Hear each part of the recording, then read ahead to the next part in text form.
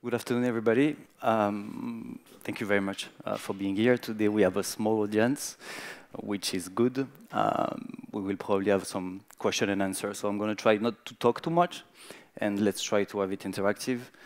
I will still go for the whole presentation, and at the end we can discuss several things. Um, so today the subject is how to build a data stack without breaking the bank. Uh, so quick introduction. I am uh, Gabriel. I'm part of Dataddo team. I'm in charge of the sales. And as a, as a very quick uh, overview of what we do, we are a data integration slash data management platform. And today we're going to land off four subjects. So the first one will be the data environment. What did change? Um, how is it becoming very dynamic? The second part will be uh, how the old approach results in very costly uh, venture. The third part will be the single vendor solution that is no longer the, the, answer to the modern data stack and the data needs. And obviously how Dataddo is here to deliver the flexibility that you need. So the clouds have changed everything. Um, basically, the IT business was supposed to be more simple, uh, more accessible, but actually get way more complicated. So this is how the cloud system used to be for companies five years ago. So they used to have, we took five main systems, which were the CRM, for example, the social media platform, the website performances. But this is how it is today. So as you can see, all those different bubbles represent the tools and all the services, the cloud services that are now accessible and that generate data that you need to access. But this is nothing to compare what it's going to be. So imagine yeah, all those little bubbles as uh, if we take CRM, for example, before you used to have HubSpot or Salesforce and used to handle everything via this tool. But now you're going to have tool like Aircall or um, with a lot of integration. And you need to track all your performances and get data from all those different systems. So as you see, there is a lot of, uh, lot of change, and this is going to be very challenging in the coming years. And the problem is not just about the amount of, of system or, or services that you're going to use, uh, but it's also about how to predict the future. And this is very, very complicated, especially now um, with the new channels, uh, new tools. You don't know what your marketing team is going to need. You don't know what your HR or financial team is going to need. So this is, this is going to be really the challenging part for the future. We took the example of TikTok. It's obviously very famous. In January 2018, in the global monthly user used to represent something like 60 million. August 20, it was already over 700 million, and actually they announced, I think in July, August, uh, that they have over a billion users. So this is a perfect example from, uh, if we check the marketing team, the fact that you have a new channel coming, becoming trendy, with a big audience, and you cannot avoid this. Of course, it's, it depends of um, the use of it, and you don't need to use TikTok. But uh, if, let's say you are an e-commerce company, you need to be on TikTok. And you need to track all your advertisement, your performances about the campaign that you're doing on it. And this is becoming very tricky uh, to collect all those data. So how to deal with it? Having a system and data stack that can quickly adapt to the business needs. So obviously this is in, in the human sense uh, to be adaptive. But if we put it at, a, at the data level, you need a data architecture that has to be composable. When we say composable, that means, and that's, uh, go back to the, uh, to the previous slide where all the bubbles, you need to have the capacity of bringing new components and imagine those components as cloud services and be able to add them in your data architecture. And the systems. The system has to be interoperable, which means that you need to have a correlation and a way to integrate and to be able to access all your data. There is a simple example. We just took uh, the, the composability outside of the tech. So if, for example, you're a gamer, and you're going to decide between a PC and a laptop, which one will you go with? You're probably going to go with a PC. The laptop, you're not going to invest in a laptop if you are a heavy gamer. because it's very difficult to change the components or part of the, of the laptop. However, with a PC, it's a different story. The PC has different components. You can uh, change your memory, you can change your graphic card, and this is crucial for being able to adapt and to keep using system and new video games that are coming on the market. This is exactly the same for the data. And if we take the data stack graph, you have three main, three main components, let's put it that way. You have the data sources, which are all the cloud services, uh, tool that you are using to, to either reach to your client, to follow your sales, uh, to follow the financial, the accounting. Then you have the data storage. You need to collect all those data and to store them somewhere. So this is how you have the data warehouses or data lake. And then you have the visualization tools.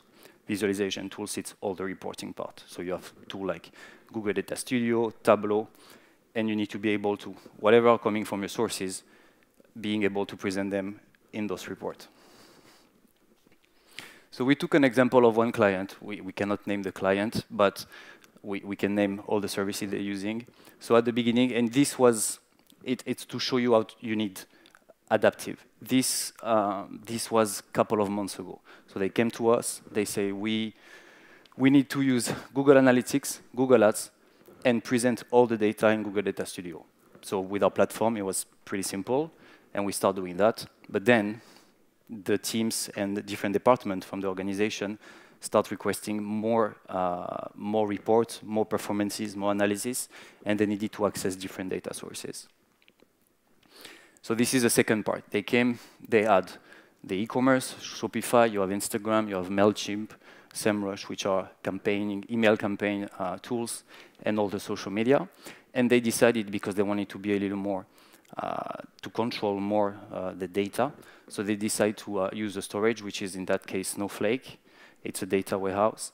And they collect all the données and they do some extra transformation, uh, extra analysis and still present after that the data in Google Data Studio. And then, two months ago, they decided also to include the sales department in the system and uh, the financial. So they, they have some Google Sheet, Zendesk, which is like a ticket, how to track tickets on your website and, and in a store, Sage Accounting, and Salesforce. But for that, they wanted to have a little bit of a different architecture. They wanted to collect the data on MySQL, which is uh, also a database. Put it in Alteryx. So Alteryx is uh, it's it's not a it, it's it's not a AI. It's just to to add some extra transformation and put some different layers in the way they want to analyze the data, and then present it in Power BI. But in the meantime, they wanted to keep all the uh, marketing and social media performances on Snowflake and then present it in Data Studio. And this is a crucial part for, for now. It's the fact that in a company, you're going to have different needs. You already have different needs. But uh, you need to be able to have a system that allowed you to bring those new components, build a data architecture that will allow you to present in the way that you want and in the need. Power BI, for example, it's a perfect tool for financial analysis. Data Studio, it's a little bit better when it comes to marketing. So this is the kind of data stack evolution that we are seeing right now on the market and is going to become even more and more. And this is the presentation. As I said, I wanted to do it quick. So um, do you have any questions uh, about that? And don't be shy. Feel free. I have one, sure. are, you able to work or integrate all the services on cloud? Or are you working with, for example, on-premises databases, whatever systems? For example, use case I'm a small bank and I don't want to have, you know, to have my uh, data in cloud, but I would like to operate with your services. Is it possible? Or? Yes. Yes, it is. If you want to send all the data, obviously most of in, in most of the cases now it's it's on the cloud, but still uh, there is some industry, bank, uh, some specific finance also uh, that request to have uh, not a better control, but uh, in-house control with the on-premise. And this is something that we can do. We can send data. Uh, we, we don't store, for example, this is a very good question. We don't store the data. What we do, we extract, we transform, and we load the data. Uh, so we do the extraction, we transform the data in the way that it can be read, and then we load the data directly to either database, or we can do, as I showed you before, directly to a, to a BI tool. And uh, if your uh, if your database or data storage is on-premise, we can we can definitely do that. We have different security level we can apply, so this is this is definitely something we can do. You're welcome. Sure. Um, to me, it sounds like like um, the sales stack and the marketing stack are separated. Would you recommend the client to actually have one warehouse with, with one snowflake where all the data meets because I can't imagine marketing and sales reporting being separate. They're always, at some point, they need to go together. You're absolutely right. Um, this is also something that we do. Uh, we don't push for any provider, or we don't push for uh, any service that you should use. Obviously, we have some partner, uh, we have some knowledge about uh, some requirement that will fit better in a solution or another. But actually, what it's a good point. There is, for, for many clients, what we do, we collect all the data, we send them to Snowflake, and then from Snowflake, there is a possibility to, to do directly a transfer in MySQL, for example. So it's, it depends of the need, it depends on what you want to achieve. In, let's, let, let's, be, uh, let's be honest on that one. In 70% of the case, even maybe 80, they use only one database. So they collect all the data because, as you said, sales, marketing, it's related, right? You, you have your campaign running and they end up in a conversion of a client, and you need to be able to track that. So as a personal suggestion, yeah, I would say to put the sales and to collect everything in the same database. In that case, it's, it's a little bit specific because they wanted to use Alteryx after. And with MySQL, it was a little bit better because uh, of the way you have the tables and, and, and the data presented, it would be more efficient for them. And also about the data quality. Uh, it, it would be, uh, in that case, it would be just a better use. Sure. Yeah, thanks. I actually had a follow-up question on, on the same when you mentioned Alteryx in the second use case. I'm kind of puzzled why it needs to be retained in the data flow.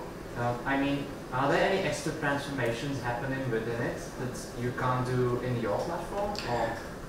So what we do, it's called a light transformation. So this transformation is, we don't change any data. We, we really transform the data, uh, as I said, in the way that you can read them. So imagine the storage is a table, Excel spreadsheet.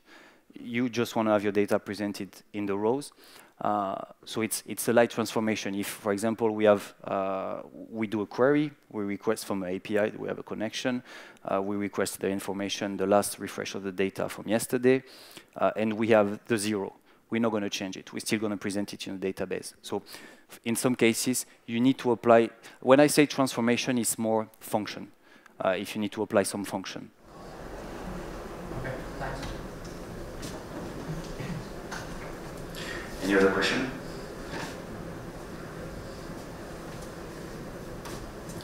Uh, how did you get your first customers? Uh, that's a good question. Uh, so yeah, I didn't say about that. So we've been on the, we, we exist for uh, five years now, but we've been on the market really uh, presenting and having a public access to our platform, let's say for the last two years. And uh, our first client, it's somebody that find us by just a research on Google. And uh, they were from the Netherlands, actually, the first client. And they ask us, can they have a limitation with Google Analytics? So uh, you have an API that you can access, collect the data, but you have some limitations, which is in the number of rows, it can be the number of calls you can access, or in the historical data. And they were facing an issue like this. They contacted us. We created the connector for them, and this is how we start. And they are still our client, actually. They, are, they became partner. It was, um, it is a, a data agency. So that's, that's how we get our first client. How much, like, you're probably offering 27,000 different connectors to different platforms. How much time does it take to maintain those? Because like every year, one of them decides to migrate the API to the next version. Like of, of all your of all the time spent on your tech, how much time do you how much time do you spend on maintaining? It's a good question. It's it's it's difficult to measure, uh, but I don't know. I'm I'm sure you saw it lately. Facebook like has a big breakdown, and uh, it's they, they they did some change now in the API. And in terms of the maintenance, obviously we are uh, close to their to the tech team, and they tell us we have updates when there is a maintenance. So the maintenance, I would say it's a good 20% of the of the developer time uh, because there is some API, it doesn't change that much, uh, but there is some TikTok, perfect example. They are improving uh, lately the, the API. It's about every week there is something that we need to change on our side uh, to, to, make sure that we can maintain it and, and still extract the data properly. Because also that's, that's the direction actually we are going in now. It's about the data quality. Collecting data, connecting to an API, it's pretty simple. Uh, but making sure actually the data that you're going to present to your clients uh, are right and, and usable, this is a different story. And we are putting in place some features uh, that will control the data quality. So data quality can mean everything. Uh, but for example, like Facebook, if for one day Facebook is down, we need to have a system that will tell to the client, hey, something was wrong here, you miss your data, we need to reload it, or we need to do something. And, uh, and this is the, the, the big, uh, a big part of our, of our future development.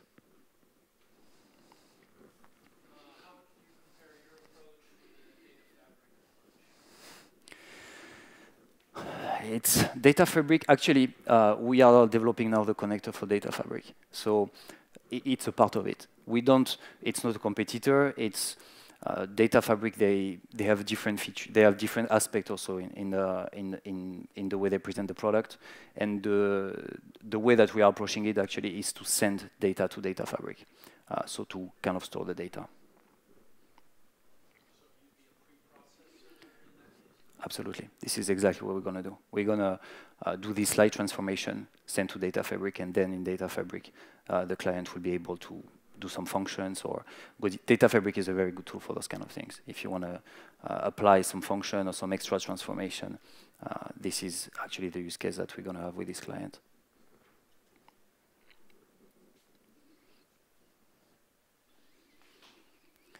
Any other question? I just wanted, so we have a previous session in Integromat services yeah. and uh, other uh, competitors? No, no, no. Uh, it's uh, we, we talk with them. We have a booth actually outside, so you're more than welcome uh, if you want to pass after. Uh, but no, we, we discuss with them, and I think there is actually a high chance that uh, we, we, can partner uh, in, in, a way. We are in the same field, definitely we are all in the same field uh, at the end of the day, but um, they have a they have a, a, different approach. Like it's it's it's really different. We don't have any analytic. Like in our tool, it's really a pure ETL. So as I said at the beginning, pure extraction, transformation, and load of the data. We don't have any uh, analytic uh, platform or things like this. We just help. Just is not the right word, but we just help the uh, to collect all the data from all the different services that you are using. No? Okay. Guys, thank you very much uh, for your time. That was, uh, that was a pleasure. And uh, yeah, if you have any other question, as I said, we are outside. We have a booth uh, downstairs. Uh, we have a couple of our teammates there, so feel free to, to pass by.